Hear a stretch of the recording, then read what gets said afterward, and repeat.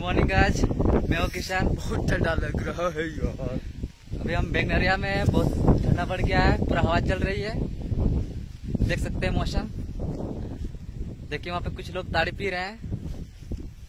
और अभी हम लोग घर से बाहर निकले हैं।